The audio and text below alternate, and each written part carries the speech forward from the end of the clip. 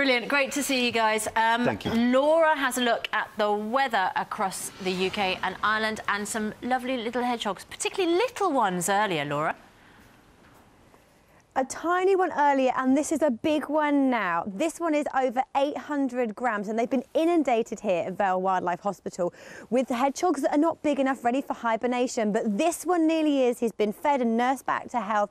He could go out if it wasn't so cold. So it's now time for the all important forecast. And Martin, I'll let you pop him away to keep him warm. Love your home, whatever the weather. With Good Morning Britain National Weather, sponsored by Checkatrade.com. Checkatrade, checkatrade.com.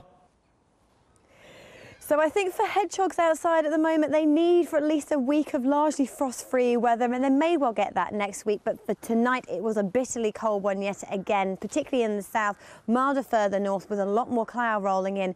But first thing this morning, we are watching out for fog in the southwest. Now, overnight temperatures in the south of England dropped as low as minus seven, minus eight degrees, along with the freezing fog, particularly a very slippery and dangerous journey to work this morning. A touch of frost through northern areas, but here a lot more cloud. Now, through the day, Scotland, Northern Ireland, much of England and Wales stays fairly cloudy. The south has the best of the sunshine once that dense freezing fog in the southwest clears. Largely dry, but some light rain across the far northwest with highs of around about 10 degrees.